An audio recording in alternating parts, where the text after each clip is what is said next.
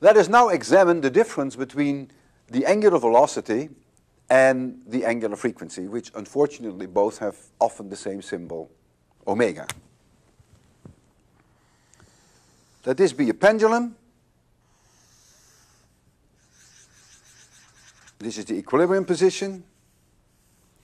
And the, I look at the situation a little later in time.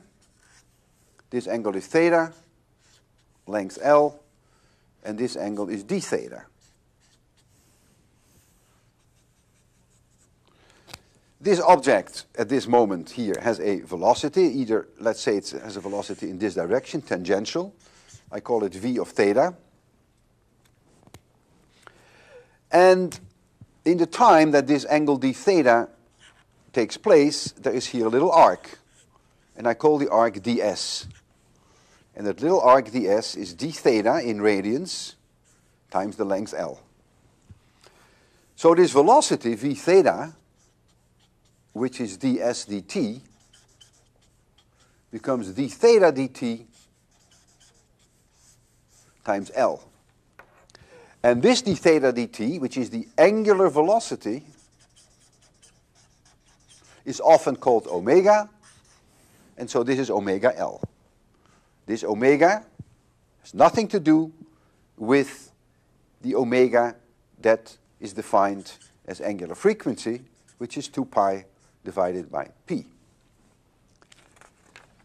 This angular velocity is zero when the object stands still, when the angle of theta has reached a maximum value.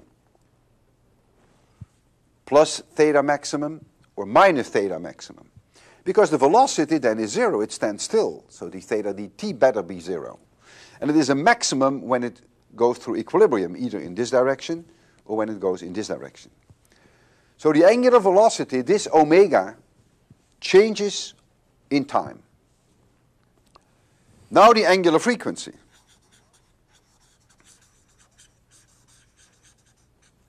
The angular frequency shows up in the equation x equals a times cosine omega t plus alpha.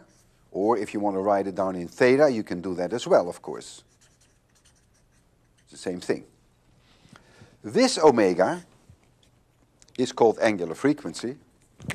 And this omega determines the period of the oscillation. And for a given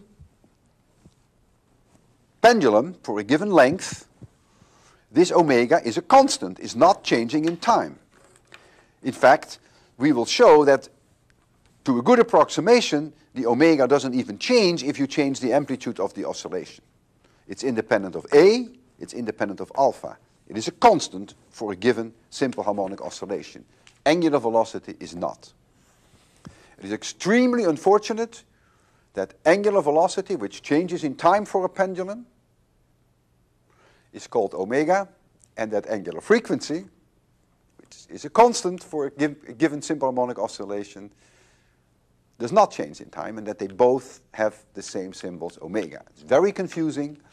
And that's why I spent some time on it, so that you keep them completely separate at all moments. And in fact, if both occur in the same problem, you may even decide to give one of the two omegas a different symbol, or maybe an omega prime. But keep them apart. That is an absolute must.